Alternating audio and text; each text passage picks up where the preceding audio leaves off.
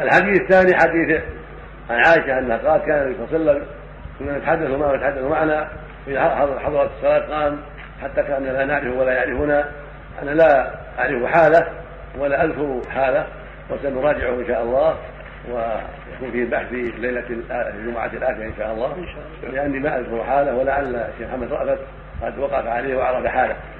لكن من باب من باب الفائده من باب الفائدة لأن الظاهر من حال النبي صلى الله عليه وسلم أنه كان لينا مع أهله ولينا مع المسلمين وإذا حضرت الصلاة قام إليها وليس حضورها يعني فيما يظهر موجبا بأن يتغير حاله مع أهله ومع من حوله بل يقوم إليها برغبه وشوق عليه الصلاة والسلام.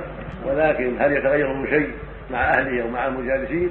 هذا محل نظر ينبني على صحة الحديث هذا والذي اعتذر إليه أخونا الشيخ محمد رافع وأسأل الله للجميع التوفيق. وإن أطلت بعض الإطالة وأسأل الله لنا ولكم التوفيق والهدايه وأسأل الله يجزي إخوتنا أصحاب الندوة جزاء حسنا وأن يثيبهم ويزيد من علمهم وتوفيقهم وأن ينفعنا بما سمعنا وصلى الله وسلم على نبينا محمد وعلى آله واصحابه شكرا لسماحه الشيخ وجزاه الله خير الجزاء وبارك الله له.